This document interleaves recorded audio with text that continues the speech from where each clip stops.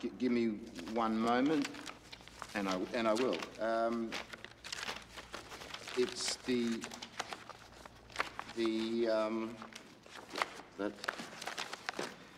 the Constitution of Australia. This is a blatant violation of the Constitution of the Commonwealth of Australia. And when it comes to violations, they don't come any bigger. What section of the Constitution has been breached? Section? What, what section? There is no one section. It's just the vibe of the thing. I'm afraid, Mr. Denuto, you'll have to be more specific.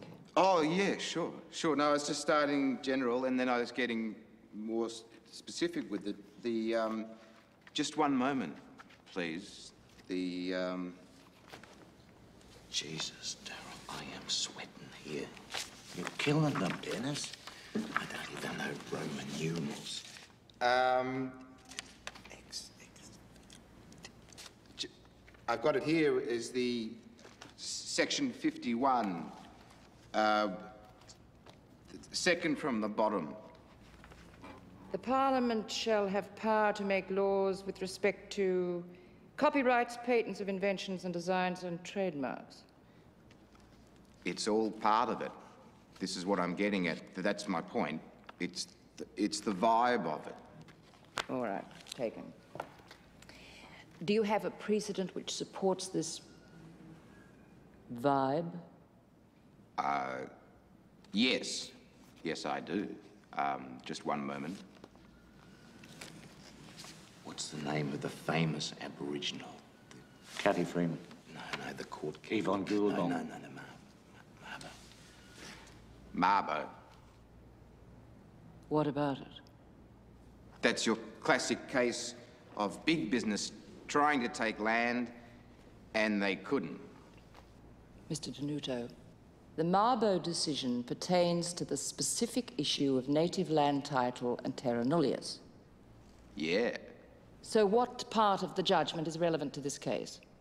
A- a- again, it, it, it, it's just the vibe of it. Actually, may I approach the bench?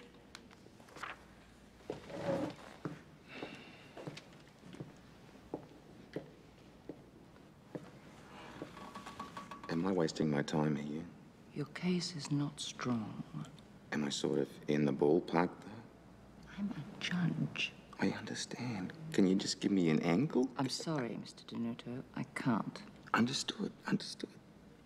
I think I got a good one anyway.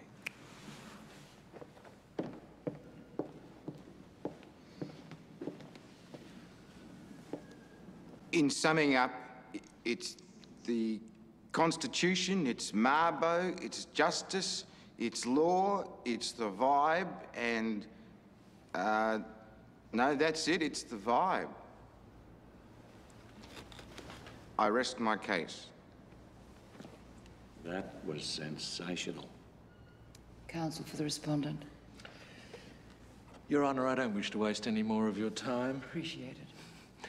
All our arguments are contained in the forward documents, and we'd be more than happy for that to constitute the case for the respondent. Thank you.